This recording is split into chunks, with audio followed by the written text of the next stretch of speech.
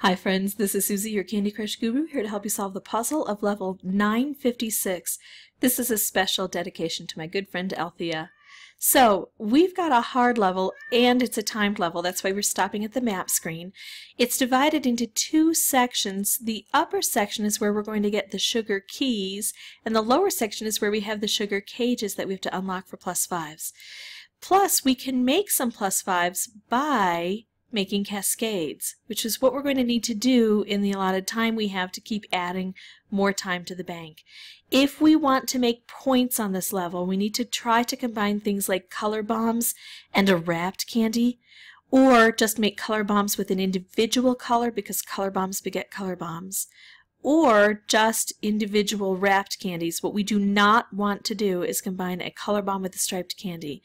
The reason is that combination doesn't yield very many points at all and it takes up a lot of time.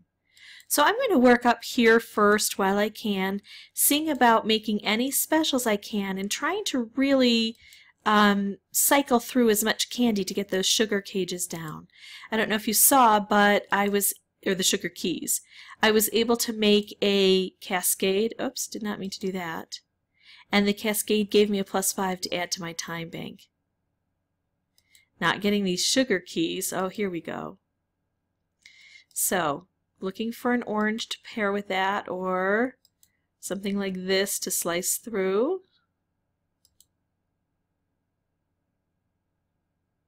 Now as soon as we get these entirely open, do you see? Plus 5. We want to go ahead and use that right away. We're running low on our time. Another plus 5. Soon as we open those sugar cages, ooh, color bombs beget color bombs, we will uh, have more plus fives available to us. Look at this, color bombs beget color bombs. I want to stay up here, get those sugar keys. See if I can get an orange to come in. There we go.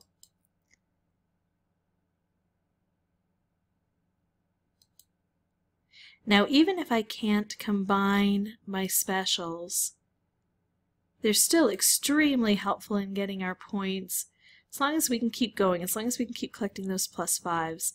Because this is positioned so well, it's not trapped in a corner, I'm going to see if maybe this is the one I can combine with a wrapped candy. Now I also don't want to combine it with another color bomb. It's so much more useful point-wise uh, to pair it with a wrapped candy than with a, another color bomb. Oh, so close. But here we go. Look at that, we got more. And while we have a lot on the board of um, the same color, we should look for more color bombs. See, I've gotten rid of all of the purple. So now it's concentrated. So this is when I should be looking a little more closely to see if I've got color bombs available. Here we go. Watch the points. This should win the level for me. There we go. So this is how I beat level 956. Uh, if you're still struggling, just drink a shot of espresso um, and play the rounds rapidly. Don't just play one, you know, wait for one life, play one, um, and then when you lose it, give up and go do something else. No, do this after maybe a workout or, and then have five lives. And as soon as you lose, use the adrenaline that you have and um, try again.